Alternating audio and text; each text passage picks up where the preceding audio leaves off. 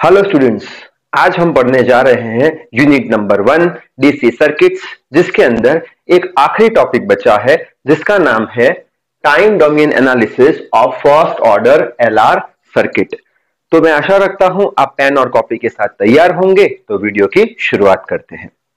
तो हमने पिछले वीडियो में यही टॉपिक पढ़ा था टाइम डोमेन एनालिसिस वाला एलआर सर्किट के लिए, लेकिन ये टॉपिक हमने तब किसके लिए पढ़ा था? हमने उसके लिए पढ़ा था जब करंट ग्रो हो रहा हो। और इस वीडियो में हम यही टॉपिक पढ़ेंगे जब करंट डीके हो रहा हो, यानी करंट कम हो रहा हो। तब जब करंट कम हो रहा है, तब वो कैसे कम हो रहा है, उसका हम स्टडी करेंगे, उसका हम इक्वेशन डिराइव करेंगे तो उसको हम बोल देंगे टाइम डोमियन एनालिसिस तो आप सबसे पहले हेडिंग समझने की कोशिश करेंगे। तो इसमें लिखा है L R circuit L R circuit यानी ऐसा सर्किट के जिसके अंदर एक तो इंडक्टर हो, जिसका इंडक्टेंस एल के बराबर हो और एक रेजिस्टेंस हो सीरीज़ में कनेक्ट किया हुआ।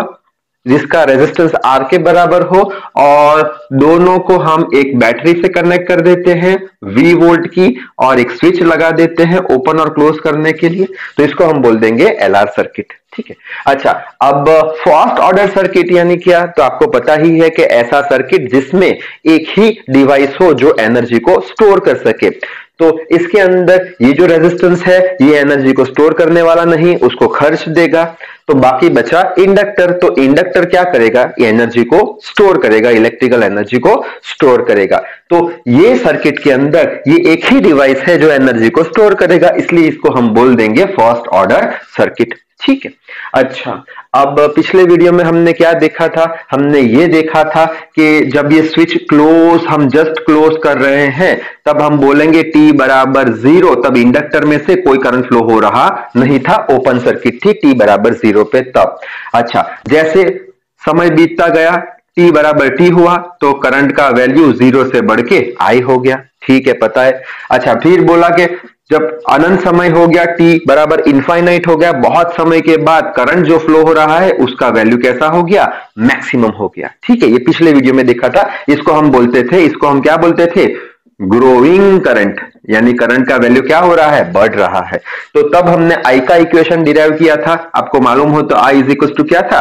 I M one minus e raise to minus R by L in R by L into T ये था। तो अब ये वीडियो हम आगे बढ़ाएँगे यहाँ से। यानी इस वीडियो में कहानी कहाँ से शुरू होगी? यहाँ से शुरू होगी। कैसे शुरू करेंगे? तो हम ऐसा करेंगे कि t बराबर इनफाइनाइट पे करंट का वैल्यू तो मैक्सिमम हो गया है सर्किट में, यानी इंडक्टर में से आई एम करंट फ्लो हो रहा है। ठीक है? तो हम ऐसा बोल देंगे यहाँ पे कि t बराबर ज़ीरो पे हम बोल देंगे कि करंट का वैल्यू कितना है? मैक्सिमम है। यानी t बराबर ज़ीरो पे हम तुरंत क्या करने वाले हैं? ये जो बैटरी है, ये जो बैटरी है बच्चों, इसको हटा देंगे। यानी पहले ये करंट ऐसे फ्लो हो रहा था, कितना maximum current I M flow हो रहा था? ऐसे फ्लो हो रहा था। बैटरी निकाल दी टी बराबर ज़ीरो पे हमने बैटरी निकाली। जैसे बैटरी निकाली, बस निकालने की तैयारी थी, लेकिन टी बराबर इन्फाइनेट पे तो आई एम करंट था। तो जैसे निकाली, यानी टी बराबर ज़ीरो पे करंट कितना है? इंडक्टर में से फ्लो हो रहा आई एम है। अच्छा जैसे समय बीतता गया, यानी टी बराबर टी हुआ, तब क्या होगा? अब करंट का वैल्यू कैसा हो जाएगा बच्चों? करंट का वैल्यू कम हो जाएगा। क्यों कम हो जाएगा? क्योंकि बैटरी तो है नहीं तो करंट कहाँ से आएगा? करंट आएगा नहीं तो करंट का वैल्यू डिक्रीज हो जाएगा और टी बराबर इनफाइनाइट पे करंट ज़ीरो हो जाएगा। तो ये जो बच्चों, चीज़ है, इसको बोलते हैं क्या? डीके करंट यानी करंट कम हो रहा है। तो हम डीके करंट का एनालिसिस करने वाले हैं। और यहाँ पे बच्चों, हम डिराइव करेंगे आई का इक्वेशन तो ये आई का इक्वेशन क्या आएगा? वो हम देखेंगे। तो ये सारी चीज़ें अब मैं रब कर देता हूँ। आपको इतना याद रखना पड़ेगा क्या? टी बराबर ज़ीरो पे क्या था? मैक्सिमम करंट था। टी बराबर टी पे करंट का वैल्यू कम हो गया है। ठीक। तो ये चीज़ मैं रब कर देता हूँ। और यही चीज़ डीके इन करंट वाली रेफरेंस के लिए मैं यहाँ पे फिर से लिख लेता हूँ। टी बराबर ज़ीरो पे करंट कितना था? मैक्सिमम था आई एम जितना। जैसे समय बीता टी बराबर टी बराबर टी पे क्या हो गया? करंट का वैल्यू घट घट गया आई हो गया। तो यानी कि यहाँ पे करंट का वैल्यू घट रहा है। कैसे घट रहा है? वो हम पढ़ेंगे और वो जो हम पढ़ेंगे, जो इक्वेशन डिराइव करेंगे, उसको बोल देंगे time domain analysis for first order L circuit किसके लिए? डीके इन करंट के लिए। ठीक है। अच्छा अब दूसरी एक बात इंपॉर्टेंट बात यहाँ पे मैं बताना चाहता हूँ कि पहले वीडियो में हमने क्या देखा था कि ये जो इंडक्टर था, ये इंडक्टर, इसमें से हमने जो करंट पास किया था, वो कैसा था? इंक्रीजिंग करंट था ग्रोइंग करंट था, ठीक है? अच्छा इंक्रीजिंग करंट था तो मैंने बोला था कि इंडक्टर अपने अंदर कोई भी चेंज को बर्दाश्त नहीं करेगा, यानी जो इंक्रीज हो रहा है उसको डिक्रीज करेगा। कैसे एक इंड्यूस करंट बना देगा ये डायरेक्शन में? यानी बैटरी हम ऐसे बनाते थे प्लस माइनस प्लस से हमेशा करंट आता था, ठीक है? अच्छा अब यहाँ पे जो हमने इंडक्टर लिया है, ये वाला इंडक्टर, इसमें से कैसा करंट फ्लो हो रहा है? मैक्सिमम करंट से घट रहा है, यानी यहाँ पे कैसा करंट जा रहा है? डिक्रीजिंग करंट करंट डिके हो रहा है। यानी इंडक्टर में क्या हो रहा है अब? करंट डिक्रीज हो रहा है, करंट चेंज हो रहा है, ये इंडक्टर कोई भी चेंज को बर्दाश्त नहीं करेगा।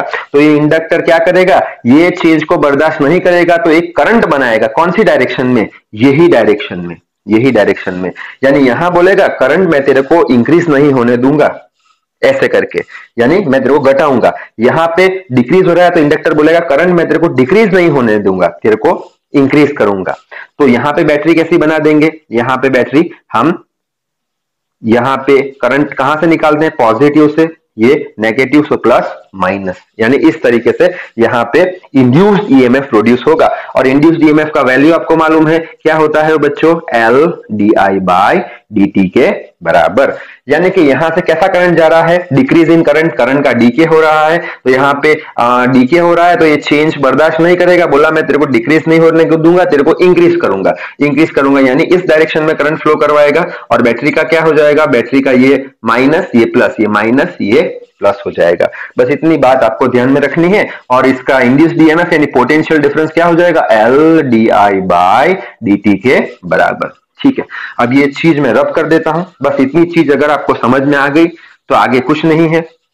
अच्छा अब हम क्या करेंगे? यहाँ पे फिर से किच ऑफ़ वोल्टेज लॉ लगा देंगे। तो किच ऑफ़ वोल्टेज लॉ क्या बोलता है कि summation of change in potential across a loop is always zero अच्छा इसके लिए एक लूप कंसिडर करनी पड़ेगी। तो लूप हम करंट की डायरेक्शन में कंसिडर कर देंगे। तो ये हो गया हमारी लूप अच्छा। अब यहाँ हम बैटरी तो है नहीं तो यहाँ से स्टार्ट करेंगे। ये लूप का डायरेक्शन ये है, ये डायरेक्शन में है। यानी कि ये लूप कहाँ से कहाँ जा रही है?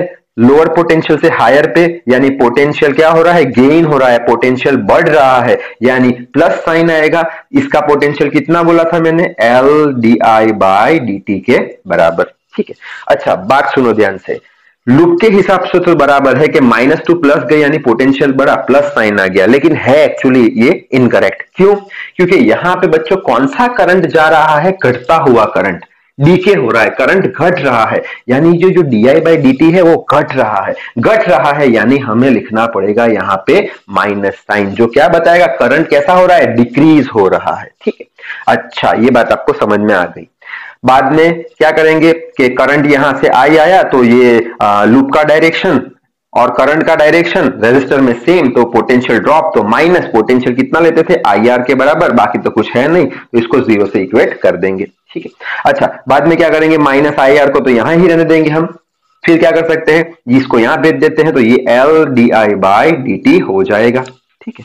अच्छा अब ये क्या करेंगे? यहाँ पे जो माइनस आर है, उसको यहाँ ही रन देंगे डिवाइडेड बाय एल कर देंगे, ये आई को वहाँ बेच देंगे सो ये हो जाएगा डी आई बाय आई ठीक है? अच्छा अब कुछ नहीं करना, यहाँ पे एक रह गया डी टी यहाँ पे डी टी रह गया, ये वाला डी टी अच्छा अब इंटीग्रेशन कर देंगे तो integration of minus R by L D T is equal to integration of D I by I. अब लिमिट्स लगानी ज़रूरी है तो यहाँ पे टाइम है। तो हमने क्या बोला था? टी बराबर ज़ीरो टाइम टी बराबर ज़ीरो टाइम पे करंट कितना था? करंट था मैक्सिमम तो यहाँ पे आई एम लिख दो। फिर टी बराबर कितना था? टी टाइम तो टी बराबर टी टाइम में करंट कितना? घट गया। कितना हो गया? आई के बराबर हो गया। ठीक है। अच्छा अब इसका integration minus R by L resistance और इंडक्टेंस तो हमेशा कांस्टेंट होते हैं। Integration of zero to T R L को निकाल दिया बाहर। वन डी टी रह गया यहाँ पे। और इंटीग्रेशन ऑफ़ ये क्या है? One upon I D I यानी one upon X D X उसका क्या होता है? एल एन एक्स तो यहाँ पे एल एन आई बन जाएगा। लिमिट लगा लो आई एम आई ठीक है? अच्छा यहाँ तक समझ में आ गया। आगे बढ़ते हैं। ये minus R L one D T का क्या होगा इंटीग्रेशन टी हो जाएगा। लिमिट कौन सा है? ज़ीरो से लेके टी ज़ीरो से लेके टी लगा दिया। इज़ इक्वल टू इसका क्या हो जाएगा? Upper limit minus lower limit तो ये हमारा एल एन ये पूरा एक्चुअली ऐसे आप नहीं लिख सकते, इसका हो जाएगा एल एन आई हो जाएगा तो यहाँ से एल एन आई ऐसे लिखेंगे हम, ठीक है? सो अपर लिमिट आई है so L N I minus L N I M हो जाएगा, ठीक है? अच्छा फिर minus R L upper limit T है लोअर लिमिट ज़ीरो सो यहाँ पे सिर्फ़ बचा T which is equal to अब ये माइनस में है तो डिविजन में जाएगा L N I by I ठीक है? अब दोनों साइड एंटी लॉग ले लेंगे तो ये निकल जाएगा, लेकिन ये ई e के पावर में चला जाएगा e raise to R L into T which is equal to L N गया I divided by I M अब आई को सब्जेक्ट बना दो आई एम इधर I M e raise to minus R by L into T तो ये हमारा हो गया आंसर कि करंट जो है ऐसे डिक्रीज कर रहा है एक्सपोनेंशियली। अब यही चीज़ हम ग्राफ से भी समझ सकते हैं। तो यहाँ पे मैं ग्राफ बना देता हूँ किसका वर्सेस किसका। करंट जो है वो समय के साथ कैसे घट रहा है, जिसको बोलेंगे टाइम डोमेन एनालिसिस अच्छा इनिशियली करंट कितना था? टी बराबर ज़ीरो टाइम में। टी बराबर ज़ीरो टाइम में मैक्सिमम करंट तो यहाँ पे मैं आई एम बोल दू, ये मैक्सिमम करंट था। अच्छा बाद में टी बराबर टी पे करंट घटता गया। ये टी बराबर ज़ीरो टाइम पे मैक्सिमम घटता गया, घटते घटते घटते घटते इनफाइनाइट पे ज़ीरो हो जाएगा ये। ठीक अच्छा अब ये इक्वेशन पे से आपको एक टर्म है जो आपको मालूम है कौन सी? इंडक्टिव टाइम कांस्टेंट टाउ को डिफाइन करना पड़ेगा। अब इंडक्टिव टाइम कांस्टेंट किसके बराबर होता है? एल बाय आर के बराबर, ये आपको मालूम है। ठीक है? तो ये एल बाई आर का वैल्यू टाउ ले लेंगे, ठीक है? तो यहाँ पे क्या है? आर बाई एल है तो आर बाई एल का वैल्यू क्या हो जाएगा? वन अपॉन टाउ हो जाएगा रेसिप्रोकल इसका। तो ये वैल्यू इसमें इंसर्ट करेंगे। I is equals to I M e raise to minus sign तो है। आर बाई एल क्या था? One upon tau into T तो इट इज़ अच्छा अब यहाँ पे क्या है? टाउ तो कांस्टेंट है, उसका कोई यूनिट नहीं आएगा। ये क्या है? टाइम इसका यूनिट आएगा, जैसे कि मिनट सेकंड आवर अब आपने कभी भी कोई भी पावर पे यूनिट तो सुना नहीं है। जैसे कि आप ऐसा नहीं बोल सकते कि two raise to three minute हाँ? Two raise to three hour ऐसा तो आप कभी बोल नहीं सकते। यानी जो भी पावर है, उसका यूनिट होना चाहिए नहीं। तो उसके लिए हम क्या करेंगे? उसके लिए हम बोल देंगे कि ये जो इंडक्टिव टाइम कांस्टेंट टाउ है, वो कोई एक समय के बराबर है। अब कौन से समय के बराबर है, वो बाद में देख लेंगे। तो टाउ जो है, वो एक समय के बराबर है तो टाउ बराबर टी लेंगे इसमें। So I is equal to क्या लिखेंगे? I M e raise to minus one upon tau T के समय के बराबर। मल्टीप्लाई विथ टी टी से टी कैंसिल हो गया। आगे बढ़ो। तो I is equal to I M ये कितना हो जाएगा? E raise to minus one so I is equal to I M ये वन अपॉन ई हो जाएगा। वन अपॉन ई का वैल्यू आपको याद है। कितना आता है? ज़ीरो पॉइंट थर्टी सेवन क्या? आई एम ठीक है।